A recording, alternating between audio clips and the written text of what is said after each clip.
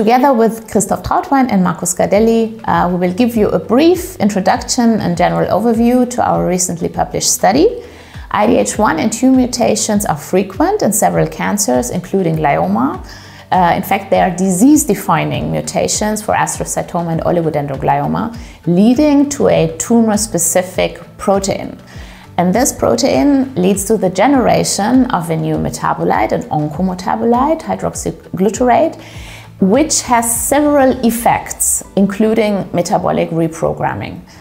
The question of our study was, what other metabolites beyond 2-hydroxyglutarate occur in the setting of IDH mutation when compared to the IDH wild-type situation?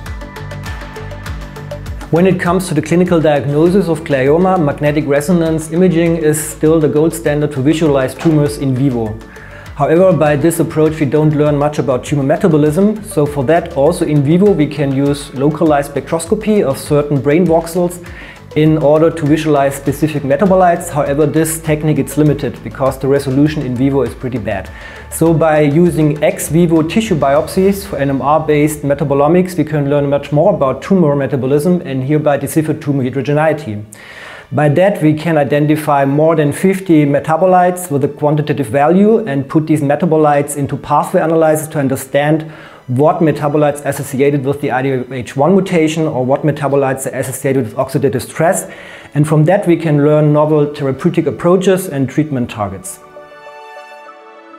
Using the approach that Christoph has just explained to you, uh, we investigated 101 tissue samples from 73 uh, glioma patients and created two different cohorts for comparing the metabolite profiles the IDH1 mutation cohort and the longitudinal investigation cohort. In the IDH1 mutation cohort, we compared metabolites in IDH1 mutant versus IDH1 wild type tissue samples. And in the longitudinal investigation cohort, we investigated tissue samples from patients who underwent several resections and compared tissue metabolites at first resection with tissue metabolites at progressive disease. And the question was then, do these tissue metabolites correlate with clinical outcome? Or in other words, could tissue metabolites potentially serve as candidate biomarkers? To this end, we performed univariate and multivariate Cox regression and Kaplan-Meier analysis.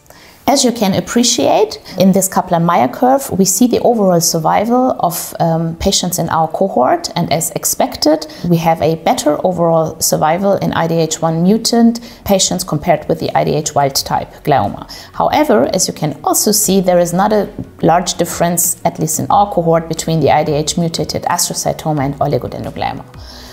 Now, if we use univariate Cox regressions, we identified metabolites that could serve as potential differentiators in these different groups. And then we performed a two-step CART uh, analysis, taking into account specific metabolites and their cutoffs and the clinical outcome.